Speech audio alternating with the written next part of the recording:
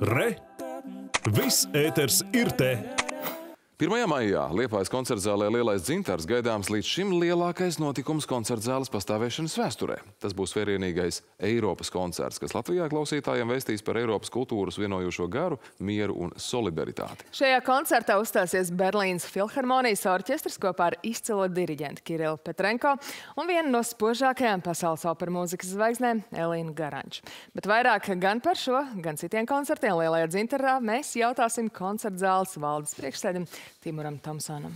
Labrīt! Labrīt. Labrīt, darbie skatītāji, labrīt. Prieks jūs šeit redzēt Rīgā pie mums līdzās. Mm, Ja mēs runājam vēl pirms pievērsties tieši māja lielajam notikumam par vispārējo, gan par noskaņu, gan par darbību, kas jums pašiem ir organizējot un plānojot mākslas noskaņojumus, eh, nu, šajā brī, mākslas pasākumu šajā brīdī eh, noskaņojums tomēr apzinoties to nežēlīgo kara darbību, kas notiek jau otro mēnesi diezgan netālu no Latvijas robežām arī.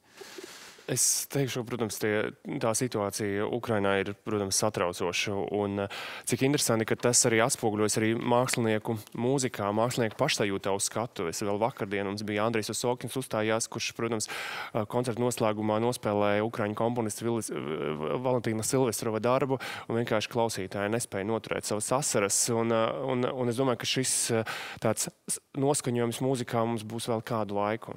Jā, nu cits šķautne ir um, ar aprīli atvieglotie Covid ierobežojumi. Te, te vai visi ir atcelti. Um, Gandrījums?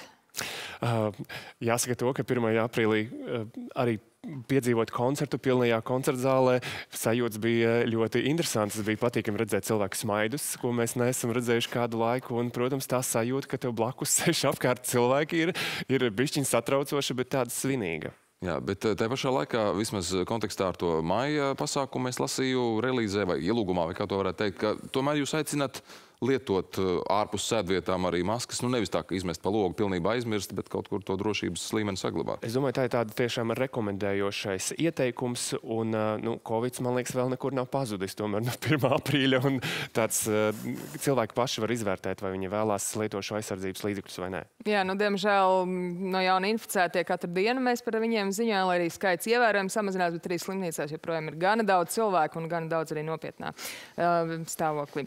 Bet uh, pandēmijas ierobežojumi, nu, liels, liels pārbaudījums, milzīgs šķērslis, protams, kultūras dzīvei. Kā tas ietekmēs Liepājas koncertu zāli, cik daudz laika un spēka vajadzēs, lai atgūtos? Nu, iedomājieties, pagājušā gadā mēs bijām cieti gan arī septiņus mēnešus, un tas ir uh, liels pārbaudījums mums kā kultūra organizācijām. Mūsu gadījumā mēs esam pievērsušies arī digitāliem projektiem ļoti daudz un arī investējuši apatūrā. Mēs esam investējuši arī platformas izstrādē, kas saucās digitālais dzintars.lv, kur, piemēram, arī vakardienas koncerts tika translēts. Un, un šī ir tā platforma, kur mēs turpinām uh, mūsu dzīvi, arī uh, mēģinot arī paplašināt to klausītāju loku. Tā kā šis bija mūsu stāsts, un viņš bija tāds ļoti veiksmīgs stāsts. Kā vispār pašlaik, ja tā var teikt, pildās kalendārs ar kultūras notikumiem? Nu, varbūt tas 1. aprīlis nebija tas uh, grūdienis, lai gan arī, protams, prognozējot ierobežojumu mazināšanu, es pieļauju, ka jau tā plānošana arī varēja notikt citādāk, raitāk. Jāsaka, ka aprīlis un maijs ir ļoti pilni mēneši. Mēs faktiski atgriežamies pie tādiem, uh, nu, tādiem 19. gada skaitļiem jau koncerta daudzuma ziņā. Mums, protams, Liepā ir vēl viens vērienīgs notikums, ir putekļa atklāšana vasarā. Līdz ar to mums vasarā būs pašiem nedaudz mazāk darba, kur mēs varēsim, varēsim pievērsties tiešām nākamajās, nākamo sezonu plānošanai. Jā, bet nu, lielais notikums 1. maija Berlīnes filharmonijas orķestris ar vērienīgo Eiropas koncertu. Kā nāks, ka šeit pie mums Latvijā? Tas ir neticami, protams. Un, nu, gan, diemžēl man jāsaka, ka nav labā bez ļaunā. Un šis koncerts tika plānots ā, Odesas operā. Un, diemžēl šajos kara apstākļos tas nav iespējams. Un, orķestris ir meklējis jaunu kultūras vietu, kur arī, protams, ir simboliski šobrīd ir izvēlēts Baltijas valstis. Kāpēc ir jābrauc tieši uz šejieni? Un mēs esam, protams, pagodināti to, ka pie mums ir visa infrastruktūra nepieciešama, lai uzņemtu šādu līmeņa orķestri. Un tas ir, nu, mēs ar, vēlreiz uzliksim Latviju uz Eiropas kultūras kārtē, pasaules kultūras kārtē, jo šo koncertu translē vairāk nekā uz 30 valstīm. Nu, jāpiebilst arī, ka to rādīs daudzas arī valstu televīzijas, arī Latvijas televīzija, tajā skaitā 30, vairāk nekā 30 pasaules valstīs. Tas būs skatāms arī televīzijā. Bet kas ir Eiropas koncerts? Varbūt iezīmējiet to paša nosaukuma, paša šī koncerta tipa sūtību un izcelsmi. Eiropas koncerts jau tiek organizēts kopš 1991. gada. 1. maija ir Berlīnas filharmonijas dzimšanas diena, un šogad viņi svinēs pie mums Liepāja 140. jubilejas uh, sezonu. Un, uh, šo koncertu viņi uh, sāka rīkot pēc Austrumvācijas un Rietumvācijas apvienošanas, tādā veidā radot savu vīziju par jauno Eiropu, kā jāizskatās jaunai Eiropai, kāda viņa jābūt vienotai, arī gan, gan mūzikā un garīgi. Un uh, šis koncerts tiešām ir ļoti nozīmīgs Eiropas kontekstā. Viņš tiek rīkots dažādās kultūras vietās, nozīmīgais kultūra vietas Eiropā, piemēram, kā Versaļas pils vai Orsē muzejs Parīzē vai Prādo muzejs Madridē.